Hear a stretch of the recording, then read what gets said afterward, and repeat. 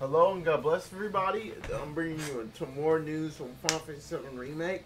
This is going to be news to do with how the game is being co-developed by one of my favorite companies, CyberConnect 2. Square has actually gotten with CyberConnect 2 to help make the Final Fantasy VII Remake. Now, that is pretty cool, but this also means that we probably won't be getting any new dot hack stuff anytime soon because because Final Fantasy Remake is being helped. Well, it's not being it's not being completely co-developed by by certain people, they're outsourcing some of the projects of it to CyberConnect 2. So, which is really cool to see CyberConnect 2 working on a Final Fantasy game because, wow, we all know the work they do is amazing. But but CyberConnect 2 is helping to work on the Final Fantasy VII remake to help make it a really great game and all that.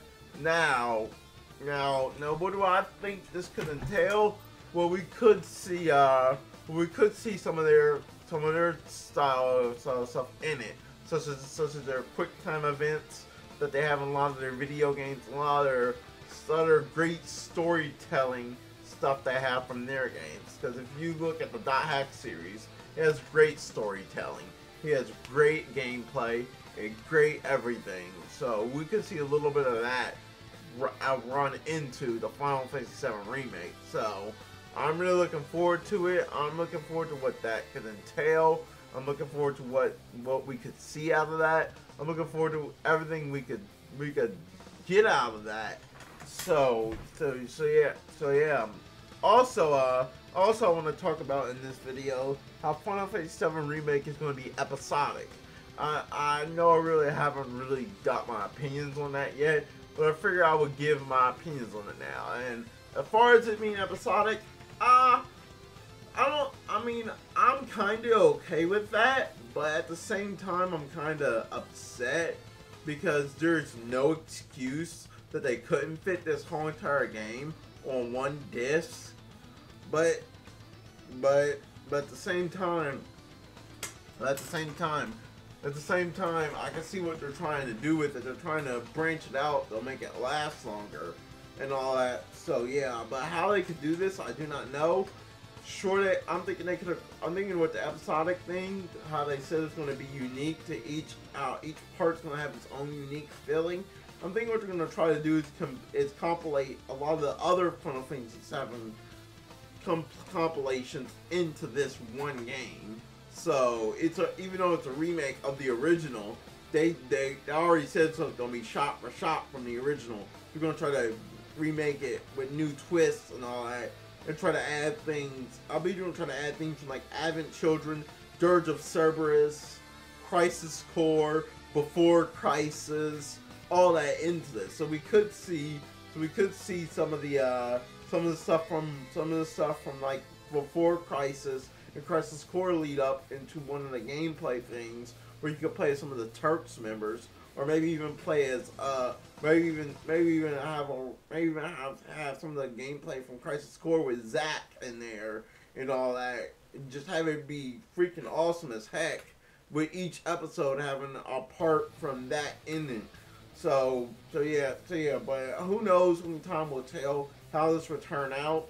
I mean, I don't think it's going to be completely linear like like uh, like a Telltale game, just because you really can't do that with a Final Fantasy because it's so open and you have levels and you have all that. Whereas with a Telltale game, it's it's narrow and it's very and it's very and it's very just derivative on the choices and not really on levels and gameplay and all that. This is more open to gameplay and all that, and it's hard to incorporate that in an episodic way. So yeah, I believe we're to see this. Uh, I believe this episodic thing is to turn out in a way that is pretty unique in its own style. That that could turn out really well. Now, as for pricing, I really hope they don't price this too high. Also, also, also, also, they have said that each episode is going to be the size of a full game. So each episode will not be a short little episode. It'll be the size of what a full game has. So that means we, we're, probably gonna get we probably get 60 plus hours of gameplay out of each episode. So 60, 60 to uh, 7, 6. Uh, that mean that means this could be a very long lasting game. A very long, uh, very long parts from each Final Fantasy thing in it to make it a very long series and lasting. So I really, I'm really liking what Square is saying about it. I'm just hoping it turns out well. Well, this has just been my thoughts on the whole, on all this everything two thing, uh, co-developing Final Fantasy 7 remake with them, and the whole episodic thing of Final Fantasy 7 remake. And until next time, people, God bless, take care. Don't forget to like my video and subscribe to my channel. It really helped me out a bunch. See ya.